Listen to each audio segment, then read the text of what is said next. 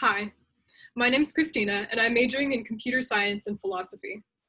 So I've been a student guide for the past three years, and I love talking about art with people. I love thinking about art. I love doing it with a community of peers and mentors uh, that are involved and love the Ackland Art Museum and make it more visible to the student body.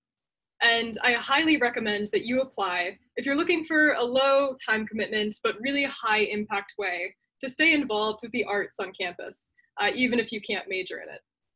I hope to see you next year.